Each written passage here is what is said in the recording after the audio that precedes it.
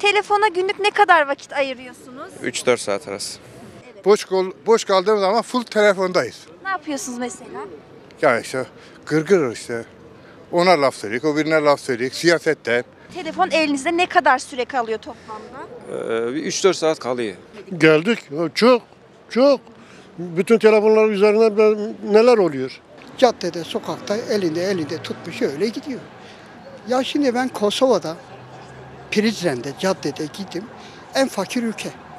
Herkeste cep telefonu var. Ama medeniyet var. Akıllı telefon. Bir alo demekten daha fazlası. Artık herkesin elinde. Genci yaşlısı fark etmiyor. Öyle ki akıllı telefon kullananların yaşı gittikçe düşüyor. Şimdi bebekler bile açıp ona bakıyorlar. Yemek yerken bile onunla eğlenip yemeklerini yediriyorlar anneler babalar. Okula giden çocukların elinden hiç düşmüyor. Ellerinde ıı, telefon hepsinin. Bak bu bunda o işimize yaramaz ama boş evde gittik oturduk mu bir telefon var işte Dokunmatik. he ondan işte vakit geçiriyoruz yani öyle. sürekli Bazen Facebook, evde de şeyler de şikayet oluyor. Hanım da şikayetçi. Ya bu ne kadar bundan. E, tabii ki sosyal medyada var, telefon arkadaşlar var, telefon açanlar var. Var yani. Aşağı yukarı en az 3 saat telefona vakit ayırıyorum. Ama günüm boş geçiyorsa sabahtan akşama kadar hani canım sıkıldığı için yapacak bir işim olmadığı için video izleyebiliyorum, oyun oynayabiliyorum. Ama normal bir e, günden bahsedecek olursak bir 2-3 saat falan oluyor toplam. Telefona günde en az 2 saat vakit ayıran bir kişi ayda 60, yılda ise ortalama 720 saatini telefonla geçirmiş oluyor. Tabii bu en düşük saatlerden biri.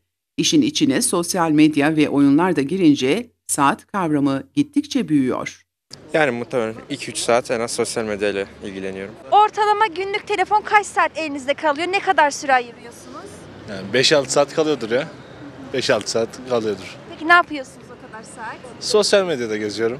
Yani ya derslerle ilgili bir şeylere bakıyorum.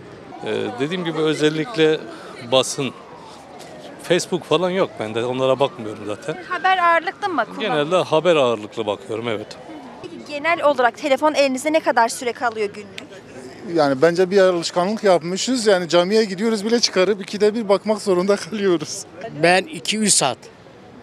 Peki ne yapıyorsunuz o 200 saat boyunca? Vallahi gelen mesajlara bakıyorum. Artı oyunlar var. Okey, şeker. Onlara oynuyorum. Akıllı telefon bağımlılığına veya aşırı kullanımına neden olan en önemli faktörlerden biri gözden kaçırma korkusu.